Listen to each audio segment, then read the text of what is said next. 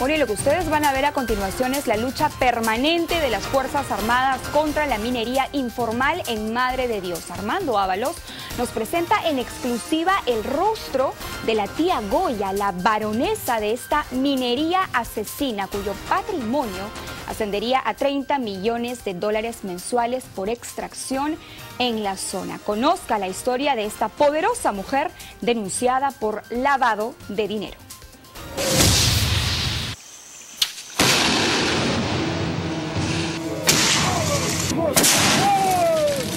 Cada draga destruida es un golpe a los reyes de la minería ilegal en Madre de Dios. Una minería informal que mueve más de 2 mil millones de dólares al año. La fiebre por el oro que se extrae de los ríos de la selva con estas dragas ha creado míseros pueblos como este en Madre de Dios, donde la vida no vale nada. Aquí el pequeño Anthony de 10 años perdió la vida al caer a los enormes pozos de lodo con relaves tóxicos, donde por 15 soles trabajaba todo el día sacando pepitas de oro para poder comer. El cáncer de la selva peruana ha dejado así lo que antes eran frondosos bosques en Madre de Dios. La superficie destruida en esta parte de la selva equivale al tamaño de todo el departamento de Lima. Estamos en estos momentos en el río Madre de Dios y nos dirigimos en una embarcación de la Marina de Guerra hacia una zona donde se han intervenido algunas dragas. Así es, ¿no, comandante? Sí, vamos eh, sobre el río Madre de Dios con dirección hacia Puerto Pardo, a los lugares donde el día de hoy hemos intervenido por la mañana. ¿Cuántas eh, eh, dragas han más o menos han destruido en esta zona? El día de hoy, cerca de, aproximadamente entre esta semana, cerca de 40.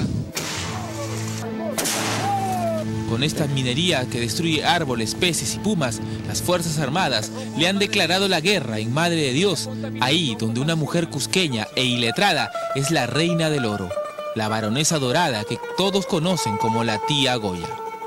La tía Goya es una señora de Cusco, casada con el señor de apellido Vaca, que maneja lo que podríamos llamar un gran grupo económico, pero convertido en pequeñas empresas que son de fachada como pequeñas mineras. Ella habilita con combustible, habilita con dinero, habilita con equipos, habilita con maquinaria a estos pequeños operadores y entonces siempre está queriendo aparecer como que es una pequeña minera. Los servicios de inteligencia muestran que la señora Goya tiene más de 20 inmuebles, tiene más de 29 vehículos, tiene ingresos por varios millones. De ella durante años solo se tenía fotos. Ella nunca se manifiesta, nunca aparece en público. Eh, cuando hay un evento de carácter eh, eh, de, de, fiestas o fiestas sociales, ella evita las cámaras, a, a, obviamente hay seguridad que lo protege. Era monte, silencio, no había, no ha vivido nada, gente, nadie. Estas son las únicas imágenes en video que existe de Gregoria Casas Huamanhuilca, de 71 años, la tía Goya. Ahí está. Ahí está, es extracción. Ella movilizaría más de 30 millones de dólares mensuales en dragas que envenenan los ríos de esta parte del Perú. Tiene una trayectoria minera de más de, más de 30 años en, Madre de Dios. En Guaypeto he encontrado las zonas más ricas en oro, ha tenido la suerte de encontrar las zonas más ricas de oro. Nadie puede decirle a la señora Goya, la tía Goya, porque evidentemente te cae un abogado al día siguiente o dos abogados te llegan a intimidar.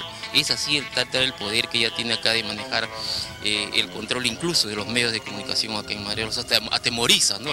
Eh, tiene inversiones hoteleras, eso en los Estados Unidos habría comprado domicilio y tendría empresas en los Estados Unidos. La ex agricultora de Acomayo en Cusco, que creó junto a su ex esposo Cecilio Vaca y sus hijos un imperio en Madre de Dios, hoy ha sido denunciada. La unidad de inteligencia financiera está determinando cómo se agrupa económicamente todas estas empresas de la familia Casas y la familia Vaca. Han sido retiradas por el Ministerio de Energía y Minas del registro de formalización. Se le ha pedido al Ministerio Público que inicie acción contra ellos por lavado de activos.